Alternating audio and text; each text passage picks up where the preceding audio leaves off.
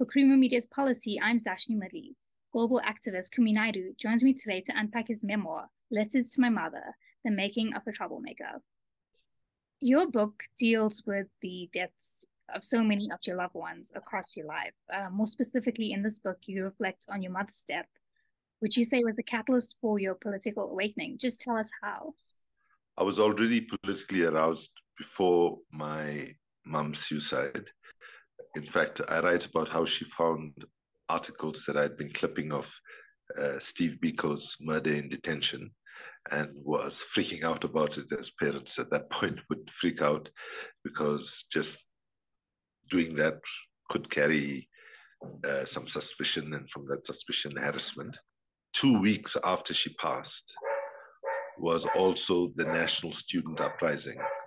Uh, which started in the Western Cape in the college schools and spread like wildfire throughout the country. And in uh, KwaZulu Natal, uh, or Natal as it was then known, uh, there was also quite large levels of support, even though at that time Inkatha uh, had control of a lot of areas and schools, and in those areas it was very difficult for protests to happen the participation in the 1980 school boycotts then just kind of put you in a situation where there was so many different ways you could get involved in the struggle, setting up a youth organization, which is what we did, and so on. So the truth is, I would not have been able to have uh, participated as actively as I did in the 1980 school boycotts and then be as actively involved afterwards because obviously one of the sad things was that my relationship with my dad at that time broke down and I had no parental control. So I had become basically a full time activist, right? And so when I say that it was a catalyst, it was really saying that um, the hole that was left as a result of a departure uh, I kind of filled it with uh, committing myself 100% to the struggle for against apartheid. And, and I would just say that I had some advice from a friend of my dad, uh, a working class guy called Uncle John Pillay, who basically said, uh, My boy, I don't know how one recovers from something like this, but live with purpose, promote the dignity of all people, and do something you know positive with your life and that was the advice i I followed, and I'm glad for it. And uh, writing the book, I didn't know whether for 100% sure that I would publish it. It was healing and therapy, and I then became convinced by friends who had read it and gave me feedback that that it could help other people in their own healing processes, and that's what I hope the book does. Steve Biko's death while it sparked your anger against the apartheid system as well, it also made you think about your identity.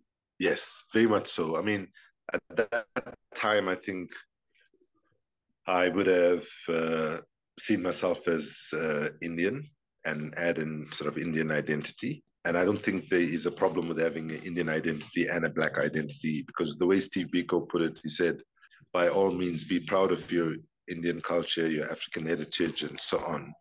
But when you're looking at where you direct your anger, make sure you're directing it at the person that's sitting on your neck, you know, and and the use of the term black that was used in the liberation struggle, included by all the main liberation movements, included when you said black, you meant uh, African Indian and colored uh, people, and that was the way I, uh, you know, the identity I had then and the identity I have now. And uh, that didn't stop me from recognizing the contradictions of the Natal Indian Congress, but, uh, but still participating in it because it was strategically the right thing to do in a context where many people of Indian origin had been bludgeoned by messages of fear for a very, very long time, and by manipulation as well. When you see the kinds of uh, events we even saw in 2021 in July in Durban. Now, you also write about your son, Ricardo, or as he is known in the entertainment world, Ricky Rick. And you say that his death shows you the correlation between poor mental health and the atrocities of the world. So, to Ricardo, you know, most people would have seen Ricardo as a successful person. You know, he was at the top of his game, uh, but he never lost his groundedness. He continued to do things to help other people and so on. His passing, you know, in my last conversation with him, um, all the things that were troubling him that he verbalized to me at that point was about things that were happening in the public space, the death of some young people that he was mentoring and supporting who died in violent incidents and in car accidents and so on. And he was lamenting the fact that life had become so cheap in South Africa and, in fact, you know, on the continent. And then the second thing was about corruption, and you know, he called what was happening about uh, called it crazy corruption, and then also just a sense of no like sort of hope, you know, for his generation and and so all of these things that were having a impact on Ricardo's well-being, right? I'm not saying that there weren't other things as well, potentially, but were clearly a big part of his the impact on his life. So when we look at our young people today in our country, we need to almost concede that adult political leadership is traumatizing our young people by reducing their options, by engaging in such high levels of corruption and theft and looting and so on. Uh, and so, in that sense, you know, uh, one of the things I said, you know, to be, to have good wet uh, would be very hard in if you're a sensitive human being looking around you, seeing the inequalities, seeing the, you know, uh, extreme injustices and and and failure of uh, uh, basic governance uh, services and not just available to many people in many municipalities. See, when we were young, uh, when I was a young activist, which is what I write about in the book, uh, things were really dire. We were facing a very tough, repressive state and all of that, right? But you know, one thing, we had huge amounts of hope. You know, we participated from a basis of optimism. And sadly, today, I see lower levels of hope in a post apartheid reality than I saw when we were facing the might of the apartheid regime. In 83, you actually clashed with Amichand Rajbansi, who was head of the SA Indian Council. Why were you so strongly opposed to the SAIC? The South African Indian Council was firstly an advisory body. Nobody had voted for it um, for most of its existence. And in the one election or substantive election they had in 1981, uh, it had a dismal uh, turnout. And true, people like me in my youth campaigned against those elections.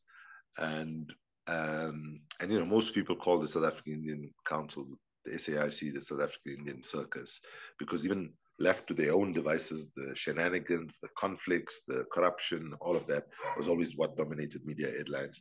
And so for most people, they knew that this was not a body that really was representing their interests, but was an elite body that people call either a puppet body, a dummy body, and so on. So what we were keen to do was to make sure that we mobilize people to stand up for the issues around them in terms of bread and butter issues, but also that they should connect those struggles to the broader anti-apartheid struggle. And that basically was the activism that me and hundreds of people engaged in uh, in the various townships of Durban from you know Lamontville to Phoenix, from Chatsworth to KwaMashu, um, to Wentworth, uh, and so on.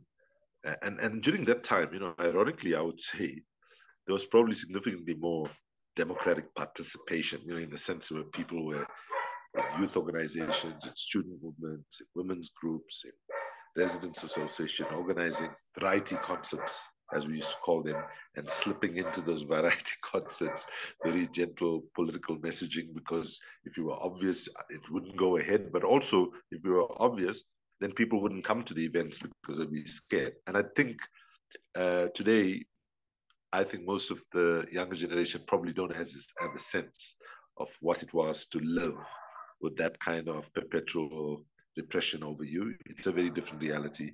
But even with us not having to deal with the repression, or young people today not having to deal with the scale of repression that we engage uh, had to deal with, I still see lower levels of hope somehow.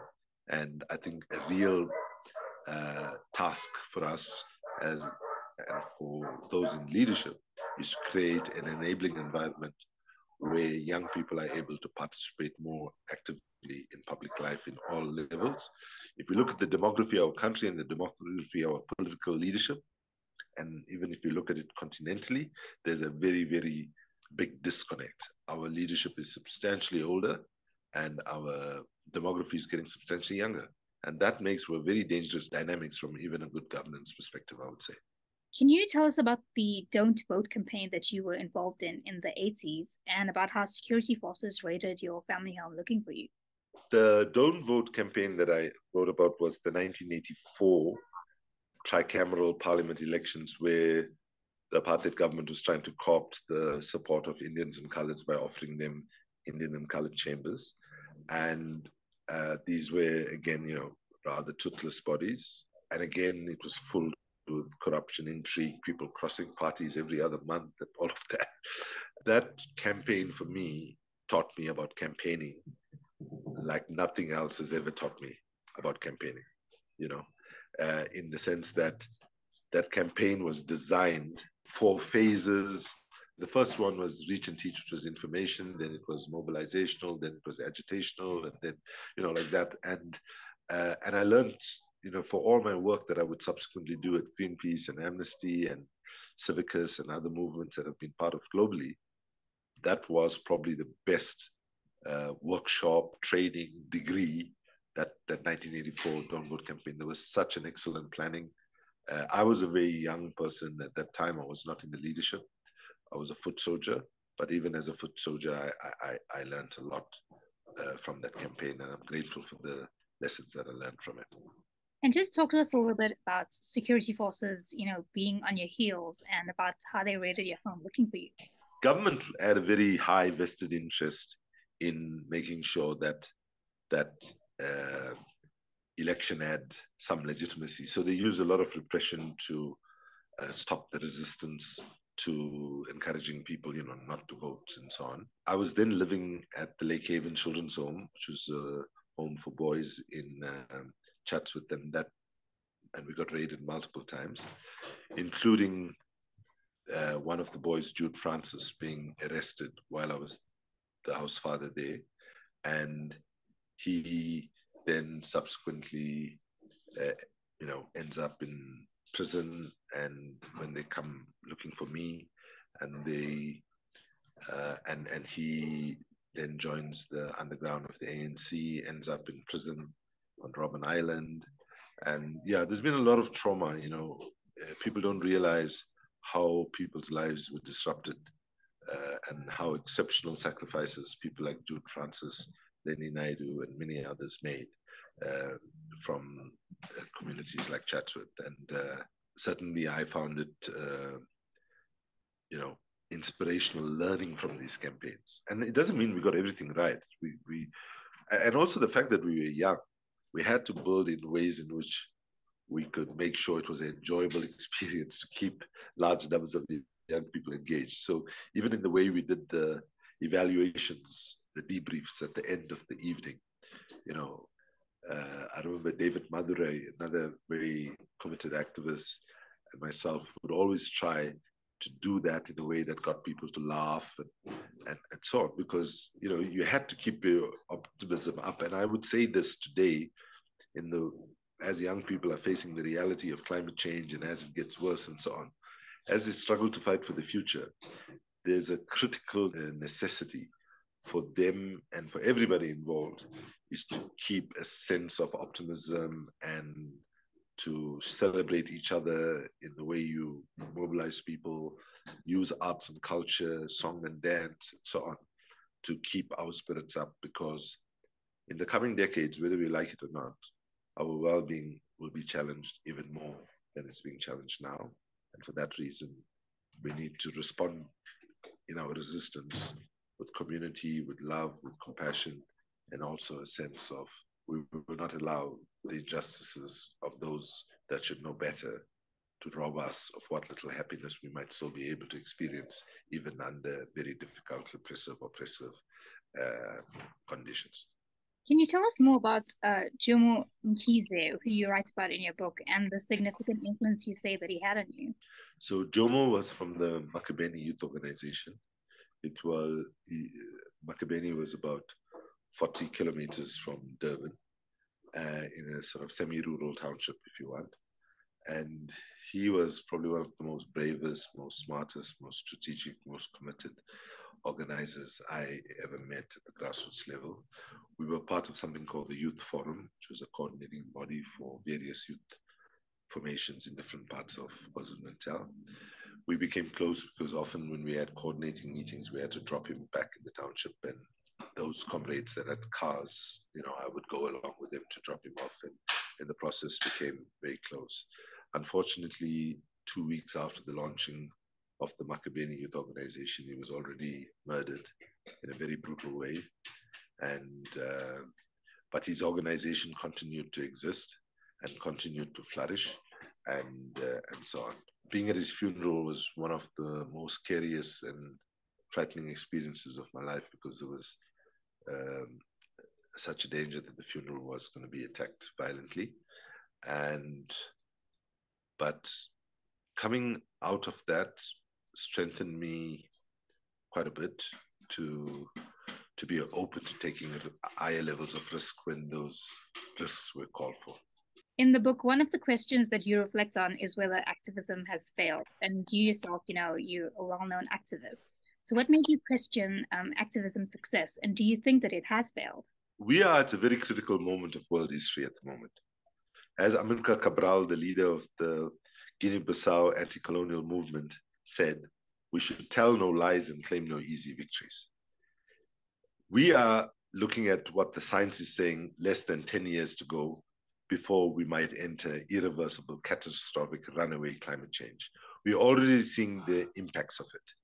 Climate change itself is a reflection of a broken economic system, a broken food system, a broken energy system, and so on. We need to make massive, massive changes. So, yes, many of us uh, have struggled for decades and decades to make progress on these issues. And right now, we must say that, yes, had it not been for those struggles and so on, things would have been significantly worse, no doubt about it.